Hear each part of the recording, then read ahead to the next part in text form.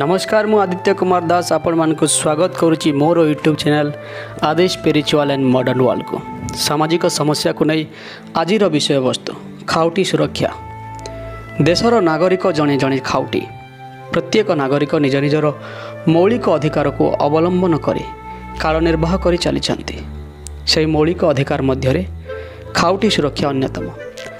ଖାଉଟି ସୁରକ୍ଷା ସମ୍ପର୍କରେ ଗାଁ ଗହଳିର ବହୁ ଲୋକ ଏପର୍ଯ୍ୟନ୍ତ ବୁଝିବାରେ ସକ୍ଷମ ହୋଇନାହାନ୍ତି। ଖାଉଟି ସାମଗ୍ରୀ ବା ଦ୍ରବ୍ୟକୁ କେନ୍ଦ୍ର କରି ଖାଉଟି ସୁରକ୍ଷାର ସୃଷ୍ଟି ବୋଲି ବୁଝିବାକୁ ପଡ଼ିବ। ଯେଉଁଠି ସାମଗ୍ରୀର ଗୁଣ ଏବଂ ମାନକୁ ଭେଦ କରି ନପାରି ଉପଭୋକ୍ତାମାନେ ଠକି ଯାଆନ୍ତି ସେଇଠି ଖାଉଟି ସୁରକ୍ଷାର ରୂପ ପ୍ରକାଶିତ ହୁଏ। ଅର୍ଥାତ୍ ସେହି ଦ୍ରବ୍ୟର ଉତ୍ପାଦନକାରୀ ବିକ୍ରେତା ଏବଂ ବିତରକମାନଙ୍କୁ ଖାଉଟି ଠିକ୍ ଭାବରେ ଚିହ୍ନଟ କରିପାରିଲେ। ଠକାମି ଦାୟରେ ସେମାନଙ୍କୁ ଆଇନତଃ ଅଦାଲତରେ ଦଣ୍ଡିତ କରିବାକୁ ପଡ଼େ। ଯେଉଁ ଉତ୍ପାଦନକାରୀ ଏବଂ ବିତରକମାନେ ଏହାକୁ ଏଡ଼େଇ ଯିବାକୁ ଚେଷ୍ଟା କରିବେ ସେମାନେ କ୍ଷତିପୂରଣ ଦେବା ସଙ୍ଗେ ସଙ୍ଗେ କାରାଦଣ୍ଡରେ ଦଣ୍ଡିତ ହେବାକୁ ବାଧ୍ୟ। ଇଂଲଣ୍ଡ ପରି ଭାରତରେ ମଧ୍ୟ ଖାଉଟି ସୁରକ୍ଷା ଆଇନ ଅଶୀ ଦଶକର ମଧ୍ୟଭାଗରେ ପରିଣତ ହୋଇ ଏପର୍ଯ୍ୟନ୍ତ କାର୍ଯ୍ୟକାରୀ ହୋଇ ଚାଲିଛି। ଦେଶରେ ନିତ୍ୟ ବ୍ୟବହାର୍ଯ୍ୟ ସାମଗ୍ରୀ ବିଶେଷ ଭାବରେ ଖାଉଟି ସାମଗ୍ରୀ ରୂପ ପରିଚିତ ସେଗୁଡ଼ିକ ଖାଦ୍ୟ ବସ୍ତ୍ର ପୋଷାକଠାରୁ ଆରମ୍ଭ କରି ଔଷଧ ଏବଂ ପାନୀୟ ଜଳ ପର୍ଯ୍ୟନ୍ତ ସମସ୍ତ ସାମଗ୍ରୀ ରୂପେ ଅନ୍ତର୍ଭୁକ୍ତ ଅଧିକ ଲାଭ ଆଶାରେ ଏସବୁ ଦ୍ରବ୍ୟକୁ ନିମ୍ନ ମାନରେ ଉତ୍ପାଦନ କରି ବା ଉତ୍ପନ୍ନ କରି ଉତ୍ପାଦନକାରୀ କ୍ରେତା ବିକ୍ରେତା ଏବଂ ବିତରକମାନଙ୍କୁ ଉଚିତ ମୂଲ୍ୟଠାରୁ ଅଧିକ ମୂଲ୍ୟରେ ବିକି ଅର୍ଥ ଠକି ନେଇଥାନ୍ତି ଏତଦ୍ ବ୍ୟତୀତ। ବିକ୍ରି ବେଳେ ଯେଉଁ ଦ୍ରବ୍ୟମାନଙ୍କର ପାଇଁ ଓଜନ ଏବଂ ମାପର ଆବଶ୍ୟକତା ଥାଏ ସେଥିରେ ମଧ୍ୟ ଠକାଇ ମନୋବୃତ୍ତି ରଖି ବିକ୍ରେତାମାନେ ଅର୍ଥ ଉପାର୍ଜନ କରିଥାନ୍ତି। ଏହିସବୁ ଦୁର୍ନୀତିକୁ ହୃଦୟଙ୍ଗମ କରି ଖାଉଟି ଯଦି ସମ୍ପୃକ୍ତ ଅପରାଧୀକୁ ଖାଉଟି ଅଦାଲତରେ ଧରାଇ ଦିଏ ତେବେ ଖାଉଟି ସୁରକ୍ଷା ଦେବାରେ ଆଇନ କେବେ ହେଲେ ପଛଘୁଞ୍ଚା ଦିଏ ନାହିଁ। ତଥାପି ଯଦି କେଉଁଠି ନିତ୍ୟସ୍ୱାର୍ଥ ଦୃଷ୍ଟିଭଙ୍ଗୀ ଯୋଗୁଁ ଏହାର ଖିଲାପ ଘଟିଲା ସେଠି ଆନ୍ଦୋଳନ ବ୍ୟତୀତ ସଫଳ ହେବାର ଅନ୍ୟ ଚାରା ନାହିଁ ଏଠାରେ ଉଲ୍ଲେଖ୍ୟ ଯୋଗ୍ୟ ଯେ ଖାଉଟିମାନଙ୍କର କୌଣସି ସଂଘ ବା ଅନୁଷ୍ଠାନ ନାହିଁ ଖୋଦ୍ ସରକାର ଏମାନଙ୍କ ପାଇଁ ଉଣେଇଶହ ଛୟାଅଶୀ ମସିହାରୁ ଯେଉଁ ଆଇନ ପ୍ରଣୟନ କରିଛନ୍ତି ତାହା ହିଁ ଲୋକପ୍ରିୟ ଭାବେ ସର୍ବତ୍ର କାର୍ଯ୍ୟ କରୁଛି। ବଜାରରେ ଖାଉଟି ସାମଗ୍ରୀ କେମିତି ଆତଜାତ ହେଉଛି ଏବଂ କେମିତି ସେସବୁ ଠକାମିର ରୂପ କରୁଛି ତାହା ମଧ୍ୟ ଦେଖିବା କଥା ଏବଂ ଅନୁଭବ କରିବା କଥା ତା ନହେଲେ ଖାଉଟି ସଚେତନତା ସୃଷ୍ଟି ହୋଇପାରିବ ନାହିଁ କିମ୍ବା ତା'ର ସୁରକ୍ଷା ମଧ୍ୟ ଉଠିପାରିବ ନାହିଁ ଆଜି ଆଧୁନିକ ଯୁଗରେ ଶିଳ୍ପର ବ୍ୟାପକତାକୁ ମୋଟେ ଏଡ଼େଇ ଯାଇ ହେବ ନାହିଁ ସେହି ଶିଳ୍ପର ଯେଉଁ ସବୁ ଉପଯୋଗୀ ଏବଂ ସର୍ବବ୍ୟବହାର୍ଯ୍ୟ ସାମଗ୍ରୀ ଉତ୍ପାଦିତ ହେଉଛି ସେଗୁଡ଼ିକ ବଜାର ମାଧ୍ୟମରେ ଆସି ସାଧାରଣରେ ବିକ୍ରୟ ପାଇଁ ପହଞ୍ଚୁଛି କିନ୍ତୁ ସେସବୁର ଗୁଣ ଏବଂ ମାନ ଜାଣିବାକୁ ହେଲେ ବିଜ୍ଞାପନ ହିଁ ଏକମାତ୍ର ଦିଗ।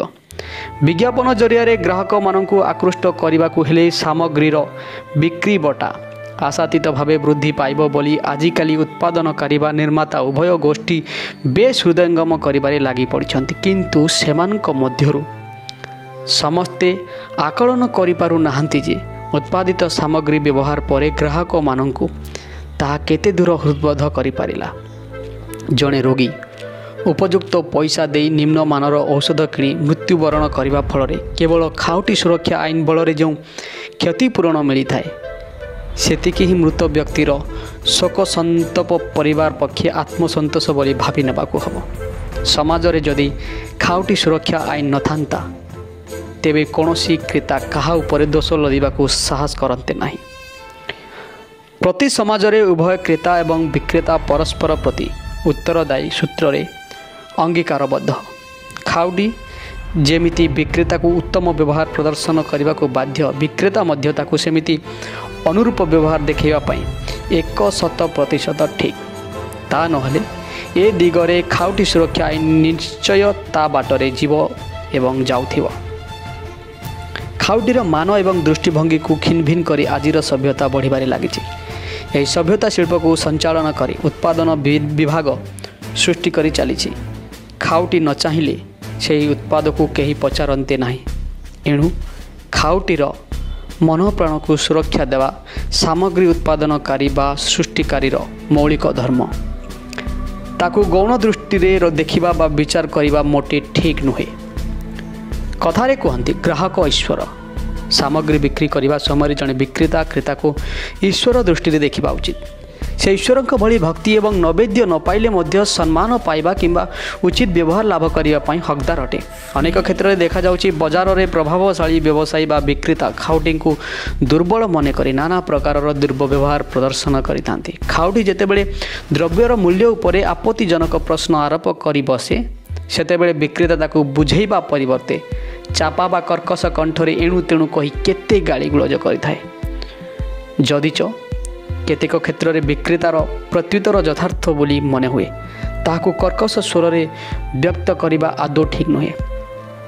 ଯେକୌଣସି ଯାନବାହନରେ ଯାତ୍ରା କଲାବେଳେ ଯାତ୍ରୀମାନଙ୍କୁ ସର୍ବନିମ୍ନ ସୁବିଧା ଯୋଗାଇ ଦେବା ଉଚିତ। ଏଥିରେ ତ୍ରୁଟି ଘଟିଲେ ସମ୍ପୃକ୍ତ ମାଲିକ ବା ସଂସ୍ଥା ଦାୟୀ ସାବ୍ୟସ୍ତ ହେବେ ଏବଂ ସେଥିପାଇଁ ଯାହାର କ୍ଷତି ହେବ ସିଏ କ୍ଷତିପୂରଣ କରି ଦାବି କରି ବସିଲେ କେବଳ ସରକାରୀ ସଂସ୍ଥା ନୁହେଁ ବେସରକାରୀ ଏବଂ ଘରୋଇ ସଂସ୍ଥାମାନେ ମଧ୍ୟ ଖାଉଟି ସୁରକ୍ଷା ଆଇନ ବଳରେ ପରିଚାଳିତ ହୋଇ ତାହା ପୂରଣ କରିବେ। ତେଣୁ ଏହି ଆଇନ ବଳରେ କ୍ଷତିପୂରଣ ହାସଲ ହେବା ସହଜ ମନେ ହୁଏ। ଏହି ଆଇନର ପରିସର ଖୁବ୍ ବ୍ୟାପକ। କୋର୍ଟ କଚେରୀରେ ଯେଉଁଠି ଅଧିକାରର ନ୍ୟାୟ ପ୍ରତି ବିଳମ୍ବିତ ଦୃଷ୍ଟି ପ୍ରଦାନ କରନ୍ତି ସେଠି ଖାଉଟି ସୁରକ୍ଷା ମଞ୍ଚ ବା ଅଦାଲତ ସେହି ନ୍ୟାୟକୁ ସ୍ୱଳ୍ପ ସମୟ ମଧ୍ୟରେ ଫଇସଲା କରିଦେଇଥାଏ। ଏହାକୁ ଆଦେଶକୁ ଏହାର ଆଦେଶକୁ ଅମାନ୍ୟ କରୁଥିବା ବ୍ୟକ୍ତି ବିରୋଧରେ କାର୍ଯ୍ୟାନୁଷ୍ଠାନ ଗ୍ରହଣ କରିବାର ଯଥେଷ୍ଟ ବ୍ୟବସ୍ଥା ଏହି ଆଇନ ପରିସର ମଧ୍ୟରେ ରହିଛି। ଖାଉଟି ଆଇନକୁ ଠିକ୍ ବାଟରେ ପରିଚାଳନା କରିବା ନିମନ୍ତେ ରାଜ୍ୟ ଖାଉଟି କମିଶନ ଏବଂ ଜାତୀୟ ସ୍ତରରେ ଜାତୀୟ ଖାଉଟି କମିଶନମାନ ଗଢ଼ାଯାଇଛି। ଜିଲ୍ଲା ଖାଉଟି ମଞ୍ଚ ଏକ ଲକ୍ଷ ଟଙ୍କା ମଧ୍ୟରେ ଏକ ଲକ୍ଷ ଟଙ୍କାରୁ ଦଶ ଲକ୍ଷ ଟଙ୍କା ମଧ୍ୟରେ ରାଜ୍ୟ ଖାଉଟି କମିଶନ ଏବଂ ଦଶ ଲକ୍ଷ ଟଙ୍କାରୁ ଉର୍ଦ୍ଧ୍ୱ ମାମଲା ଜାତୀୟ ଖାଉଟି କମିଶନ ବିଚାର କରିପାରିବେ। ଏହି କମିଶନରେ ଜଣେ ବିଚାରପତି ଜଣେ ମହିଳା ସଦସ୍ୟା ଏବଂ ଜଣେ ବେସରକାରୀ ସଦସ୍ୟ ରହି ବିଚାର କରିପାରିବାର ବ୍ୟବସ୍ଥା ଅଛି। ଖାଉଟି ଆଇନ ବଳରେ ଆପତ୍ତି ଏବଂ ଅଭିଯୋଗ କେବଳ ଖଣ୍ଡେ ଦରଖାସ୍ତ ଯୋଗେ ଦାଖଲ କରାଯାଇପାରିବ।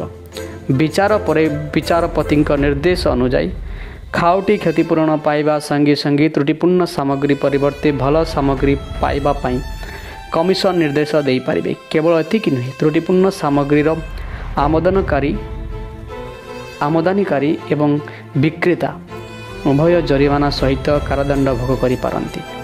ଉପଭୋକ୍ତାମାନେ ଖାଉଟି ସୁରକ୍ଷା ଆଇନ ବଳରେ ଯେଉଁ ସବୁ ଅଧିକାର ପାଇବା ପାଇଁ ହକଦାର ସେଠି ମଧ୍ୟରେ ଧନ ଏବଂ ଜୀବନ ପ୍ରତି କ୍ଷତିକାରକ ସାମଗ୍ରୀ ଯୋଗେ ଯେଉଁ ବିପଦ ସୃଷ୍ଟି ହୁଏ ସେଥିରୁ ସୁରକ୍ଷା ଦାବି କରିବାର ପନ୍ଥା ସର୍ବପ୍ରଥମ ଅଟେ। ଅସାଧୁ ବ୍ୟବସାୟୀଙ୍କ ପ୍ରତିଶୋଧମୂଳକ ଆକ୍ରୋଶରୁ ସୁରକ୍ଷା ଅଧିକାର ଦାବି କରିବା ଏହି ଆଇନର ଅନ୍ତର୍ଭୁକ୍ତ ବୋଲି ଧରାଯାଏ। ବ୍ୟବସାୟୀଙ୍କ ଶୋଷଣ ବିରୋଧରେ ନ୍ୟାୟ ହାସଲ କରିବାର ଅଧିକାର ଏହି ଆଇନରେ ଅଛି। ଖାଉଡ଼ି ସୁରକ୍ଷା ଆନ୍ଦୋଳନକୁ ଜୋରଦାର କରିବା ପାଇଁ କେତେକ ସ୍ୱେଚ୍ଛାସେବୀ ଅନୁଷ୍ଠାନକୁ ଏଥିସହ ସମ୍ପୃକ୍ତ କରାଯାଇଛି। କେଉଁ ସରକାର ଏଥିପାଇଁ କେନ୍ଦ୍ର ସରକାର ଏଥିପାଇଁ କାର୍ଯ୍ୟ କରୁଥିବା ସର୍ବୋତ୍କୃଷ୍ଟ ସଂସ୍ଥାକୁ ତିନୋଟି ଜାତୀୟ ପୁରସ୍କାର ଦେବା ପାଇଁ ବ୍ୟବସ୍ଥା କରିଛନ୍ତି ରାଜ୍ୟ ସରକାର ଖାଉଟି ସୁରକ୍ଷା ଏବଂ ସଚେତନତା କ୍ଷେତ୍ରରେ ଉଲ୍ଲେଖନୀୟ ଅବଦାନ ଲାଗି ରାଜ୍ୟ ସ୍ତରରେ ଏକ ଖାଉଟି ସୁରକ୍ଷା ଅନୁଷ୍ଠାନ ଏଥି ନିମନ୍ତେ ଭଲ ପୁସ୍ତକ ଲେଖୁଥିବା ଜଣେ ଲେଖକ ଏବଂ ଖାଉଟି ଅଧିକାର ସାବ୍ୟସ୍ତ କରୁଥିବା ଜଣେ ସଚେତନ ନାଗରିକଙ୍କୁ ପ୍ରଶଂସା ପତ୍ର ସହ ନଗଦ ଅର୍ଥ ଆକାରରେ ପୁରସ୍କାର ଦେବାର ବ୍ୟବସ୍ଥା ରହିଛି ପ୍ରକାଶଯୋଗ୍ୟ ଯେ ପ୍ରତିବର୍ଷ ମାର୍ଚ୍ଚ ମାସ ପନ୍ଦର ତାରିଖ ଜାତୀୟ ସ୍ତରରେ ଖାଉଟି ଦିବସ ଭାବେ ପାଳିତ ହୁଏ। ଖାଉଟି ସୁରକ୍ଷା ଆନ୍ଦୋଳନର ଲୋକପ୍ରିୟ ହେବା ଦୃଷ୍ଟିରୁ ଏ ଦିଗରେ ହଜାର ହଜାର ମାମଲା ଫଇସଲା ହେବାରେ ଲାଗୁଛି। ସ୍ୱେଚ୍ଛାସେବୀ ଅନୁଷ୍ଠାନମାନେ ଗାଁ ଗଣ୍ଡାରେ ଅନଭିଜ୍ଞ ଲୋକଙ୍କୁ ଏ ଦିଗରେ ସଚେତନ କରାଇବା ନିହାତି ଜରୁରୀ।